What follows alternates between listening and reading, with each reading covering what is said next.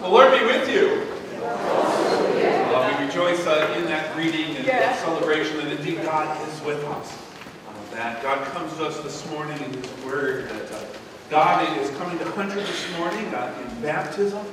Uh, and we come to the Lord in response to what God does for us in our worship, in our praise, in our prayers, and our thanksgiving. And we celebrate that this morning. A special welcome to our guests who have joined us for worship this morning.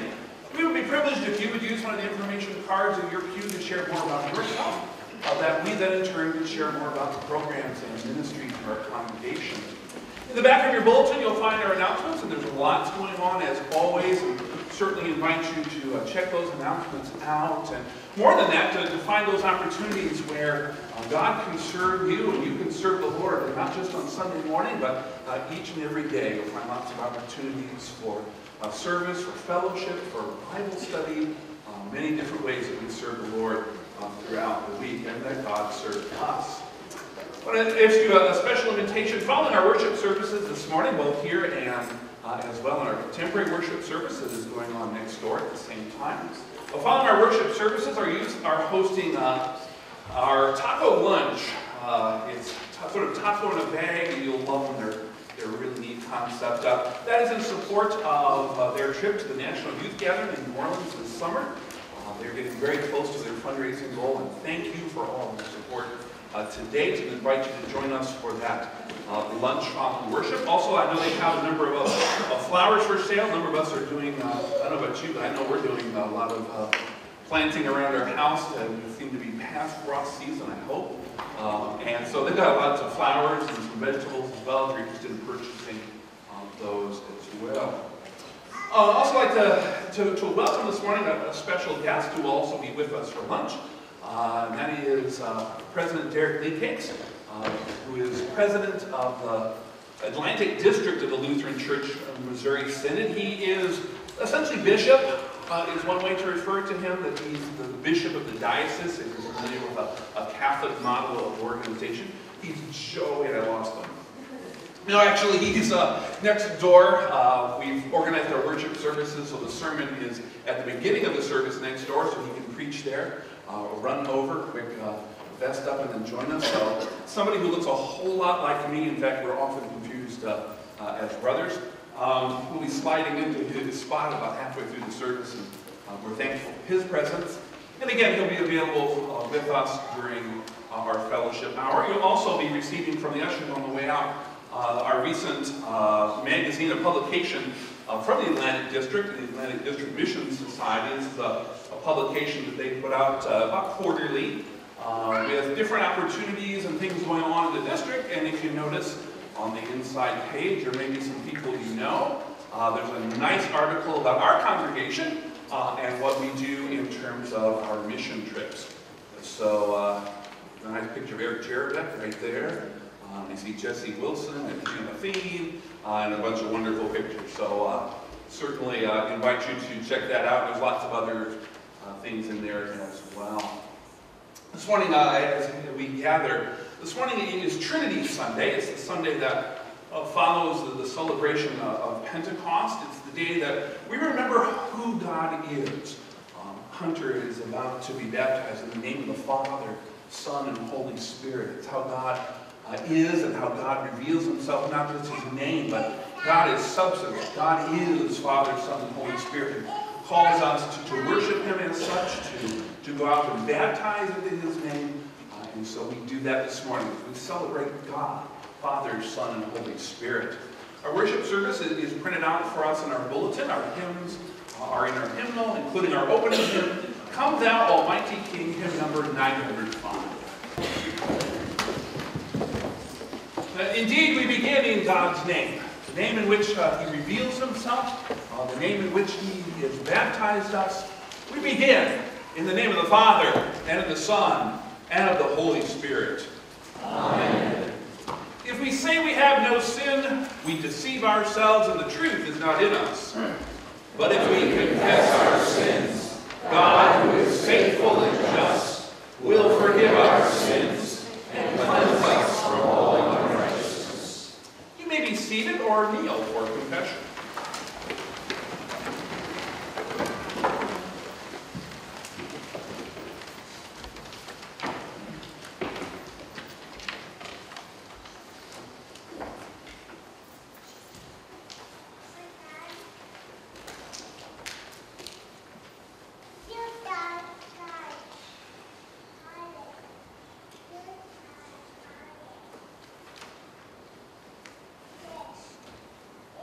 Let us then confess our sins to God our Father. Most merciful God, we confess that we are by nature sinful and unclean. We have sinned against you in thought, word, and deed, by what we have done and by what we have left undone. We have not loved you with our whole heart. We have not loved our neighbors as ourselves. We justly deserve your present and eternal punishment. For the sake of your Son, Jesus Christ, have mercy on us. Forgive us, renew us, and lead us, so that we may delight in your will and walk in your ways, to the glory of your holy name. Amen. Almighty God, in his mercy, has given his Son to die for you, and for his sake forgives you all your sins. As a called and ordained servant of Christ, by his authority, I therefore forgive you all your sins.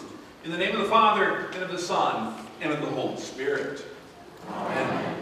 May the Lord who has begun this good work in us bring it to completion in the day of our Lord Jesus Christ. We rise to sing. The Lord be with you. And also with you. Let us pray. Blessed Lord, your delight is to love us with the never-failing love of the Father, expressed through the Son and revealed by the light of the Spirit. Grant us to know you in the mystery of the Trinity and to confess the saving work of the unity to all the ends of the earth, that others may know with us the delight of your will and rejoice in the salvation your mercy has accomplished. For you, Lord, are one God, whom we know as Father, Son, and Holy Spirit, now and forever. Amen. Please be seated. We rise for the reading of the Holy Gospel.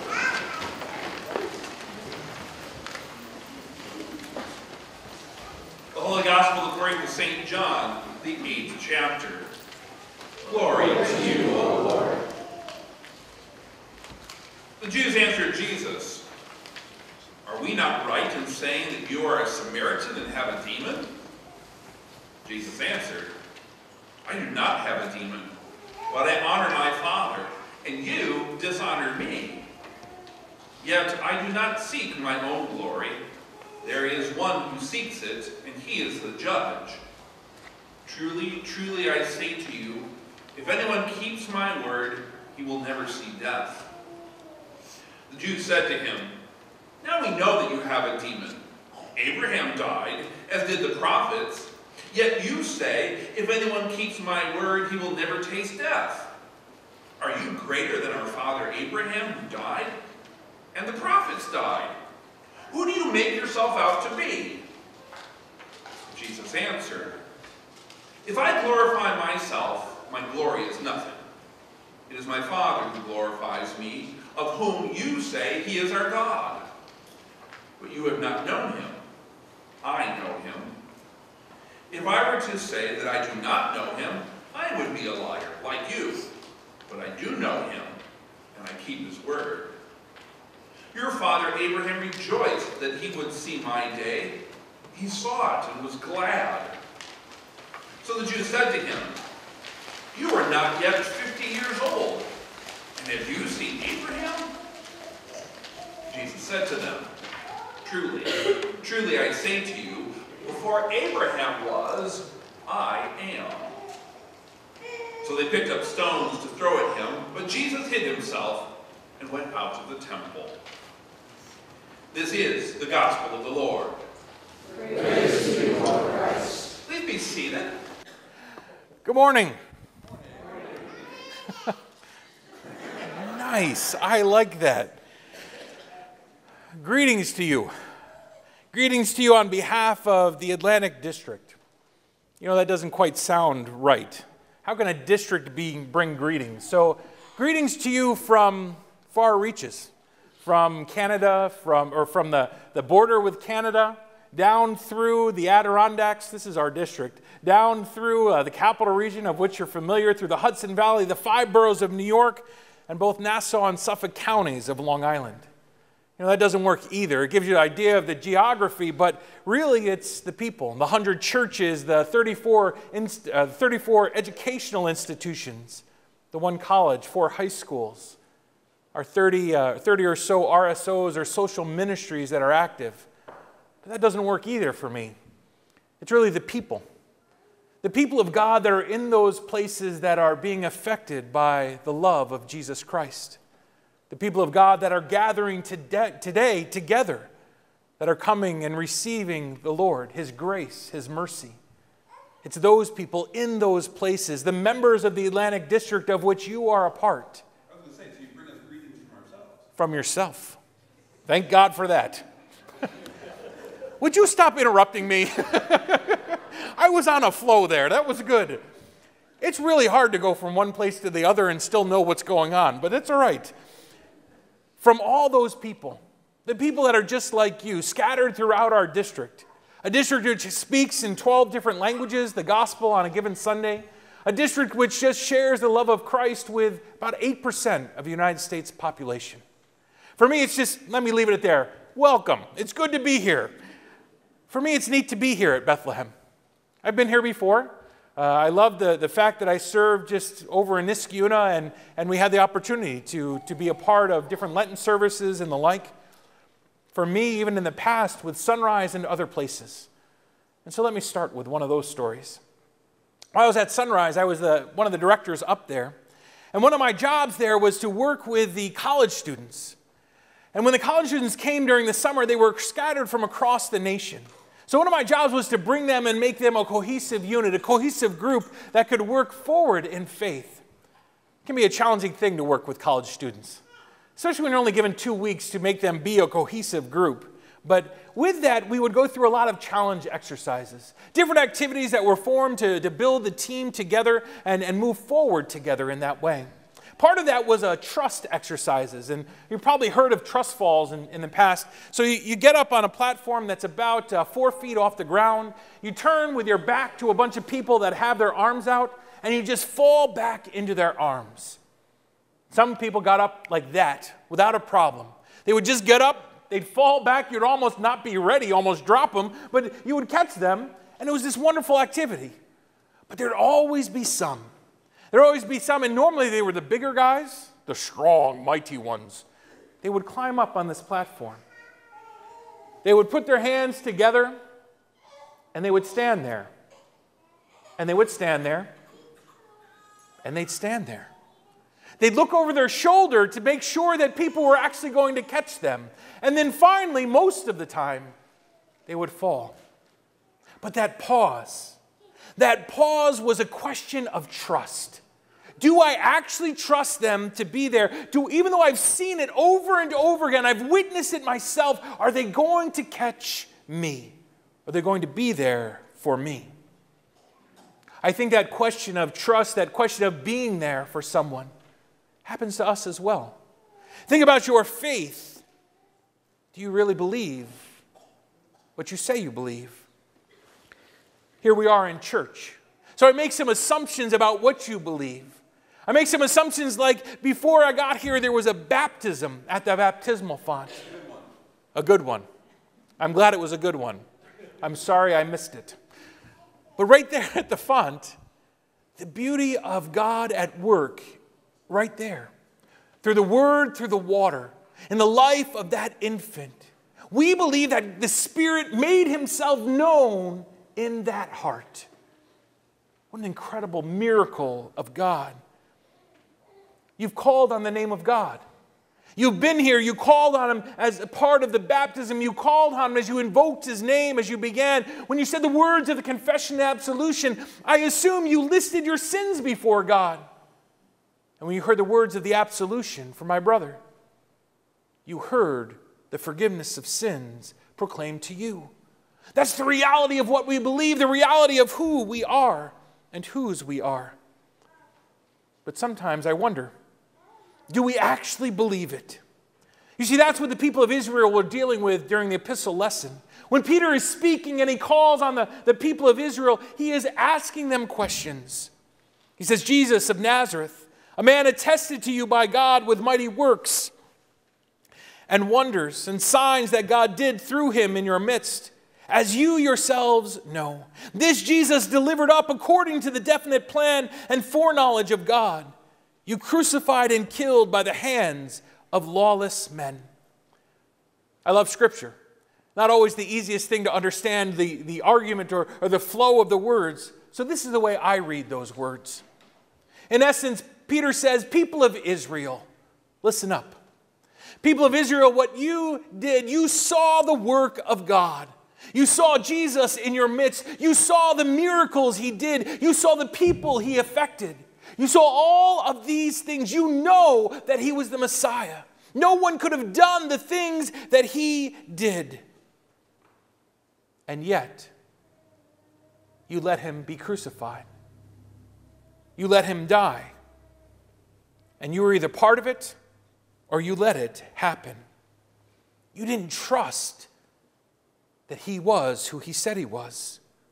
You didn't know that he was there for you. They knew. They knew who he was, but didn't trust enough to do anything about it. What about you? Are those words just for the people of Israel, or do those words have some meaning for us today? Because I think these words speak directly to each and every one of us. Listen to it this way People of Bethlehem, Delmar, Jesus, the man you know that God shared with you, that did mighty works and wonders and signs in your midst as you yourselves already know. We talked about baptism and how Jesus is active there in the water. We talk about the Lord's Supper where Jesus gives us his very body and blood. These are acts of God. Every day, every time we come forward and we receive that, we see the hand of God being offered out to us. His body, His blood, the forgiveness of real sins. This isn't just things we talk about, this is the realness of our faith forgiveness of sins, which is freely offered through confession and absolution. You are these witnesses. The witnesses that Peter talks about, you are the ones who have seen these things. This Jesus, delivered up according to the definite plan and foreknowledge of God, you crucified and killed by the hands of lawless men. I don't know about you. That idea of putting Jesus on the cross kind of bothers me. When I look at my life, when I look at the things I do, the reality of that, though, comes home. When I leave this place, when I get on the thruway and head back to Niskayuna to spend time with my family, I will bet that someone in that route will cut me off. I'll be driving along, just minding my own business, driving like the perfect driver I am. and someone, some idiot, insane person, will come flying up the side and just veer, try to veer into my car. Has that ever happened to you? Yeah. Well, if you're anything like me, when that happens, your face gets bright red and certain thoughts pop into your mind. Does that happen to you? Well, for me, those thoughts are always Jesus loves you. I don't know what your thoughts are. Sadly, I wish that were true. Far too often there are different thoughts. I know that as this week goes on that, that my children at some point will frustrate me. I have three daughters, all of, all of whom are teenagers. They will frustrate me just a little bit. I know sometime during this week that there'll be some issue that, is, that comes up between my wife and myself anger, frustration, loss, separation. We understand the world. We understand ourselves. We understand the sin that is a part of us, the realness of life that is there in our hearts. Doesn't mean we can't overcome it through Christ, but we know that it's there. It's those very sins, not just the gross sins of murder and war and angst, It's these very little sins that are a part of our lives that Jesus goes to the cross and dies for. It's these, these sins that are a part of me that Christ makes a decision to go to the cross for me, to give his life for me, to offer forgiveness to me. It's not based on who I am or what I've done, but it's based on his love. His love for me. To me, that's the beauty of faith. The beauty of the God that we believe in, the beauty of the faith that we profess, is that in spite of my sin, Jesus' love is there for me, that He has done His work on my behalf. I didn't ask Him, He simply loved me that much. That is the witness to which we attest. That is the work that God has done on our behalf. That is what we witness to the world. See, the beauty of our faith is that God is a part of us. That as we come and we receive holy baptism, we are baptized into the faith, and the Spirit makes his indwelling. The beauty of it as we come forward, receive Christ's body and blood from his altar. God inhabits us. That as we go out into the world, God is a part of us. We are the ones who make a difference in the world. God promises us that He comes to us through water, through word, through His body and blood. God comes to us comes and lives and dwells in us. We are a part of this union with God. And then as we go out from out those doors, as we go out into the world, we share Christ with all we meet. Peter says that. Peter goes on and he talks about how David knew about the Messiah that would come. He talks about the Trinity in like the third or fourth paragraph. He talks about what the Father does, the Son does, and the Spirit does. One God in three persons. But then he goes on and he says why this matters. It's the last verse of the reading. Let all the house of Israel therefore know for certain that God has made him both Lord and Christ, this Jesus whom you crucified. Go and tell people. That's what Peter tells us. Go let them know the certainty of your faith. Go let them know what Jesus has done for you. Go let them know this love that you have experienced. Go and tell others about Jesus. It's the simplest of messages. Go tell them what he has done in your life. We live in a world not unlike that of Israel back in the day. We live in a world that questions faith. We live in a world that seems lost and without hope. We live in a world that doesn't seem to want to know anything about anything. We live in a world where we see politicians that go at one another's throats every day on TV and the radio. A place where we've lost respect.